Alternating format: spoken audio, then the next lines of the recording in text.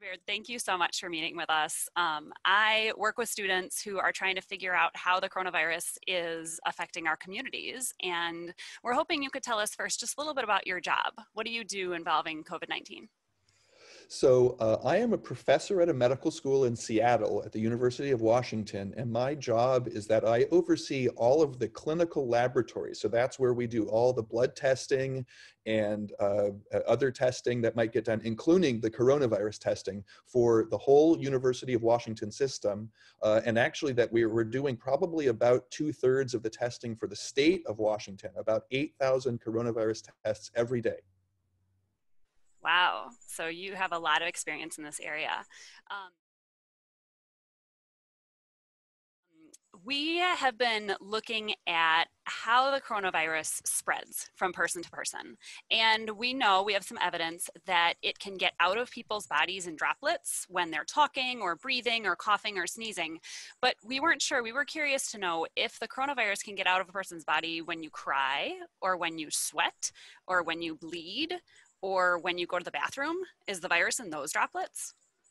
So uh, the, uh, the, the answer depends on which one which one you're talking about. So we know that there is coronavirus in the eyes, uh, and so there can be some in the tears.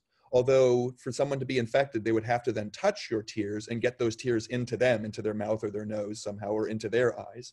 Um, you asked about blood. What we know about blood is that there's very, very little coronavirus in the blood. So we don't think that blood transmits it very well. Um, you asked about sweat. There's no evidence that there's really much at all in sweat, so we're not worried about sweat. And then poop is the one thing that uh, you did ask about. Oh, pee is another thing. There's there's essentially none in pee, but in poop there actually is a little bit of coronavirus in poop, and we still aren't really sure how much of a problem that is. But it is at least theoretically possible that if you were to sort of touch some poop, that's pretty gross. But if you were to do that, you could potentially catch it from that that's good information for us to have.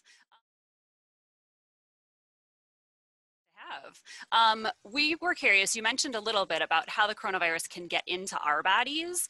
And we know that if we breathe it in, if it's in droplets in the air and we breathe it in, that it could get in that way. But um, you maybe mentioned some other ways it could get in. So tell us a little bit more about that, please. Yeah, so uh, we one of the important things that we tell people is don't touch your face. A, a lot of the the holes in your face, your mouth, your nose, your eyes, um, are are ways that viruses can get in.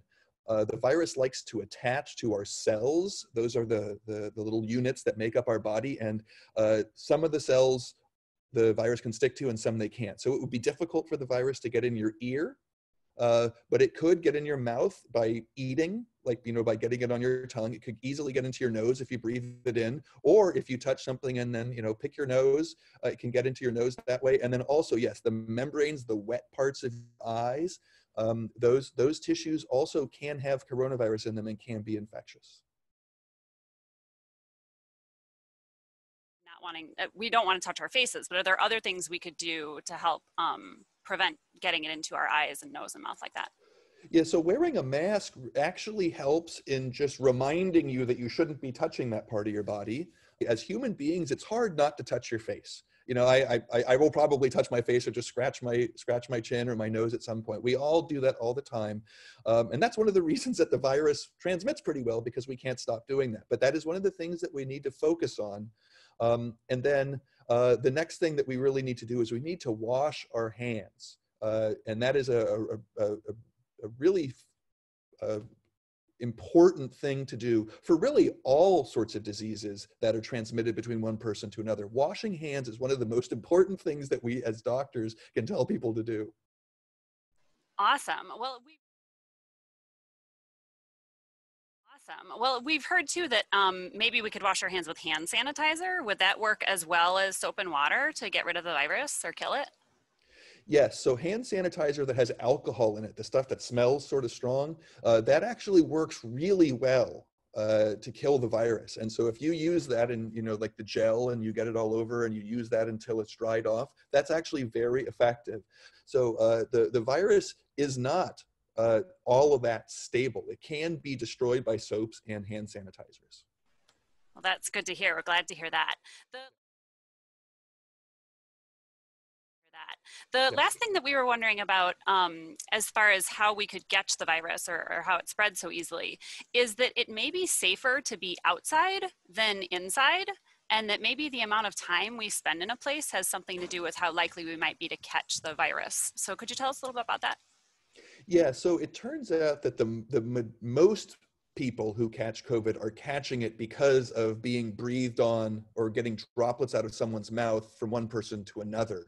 And uh, when we look at where that happens, it's mostly happening indoors. And so the reasons for that is that those droplets, if you're outside, especially if it's a nice breezy day, they blow away and, and they're just not there in front of you.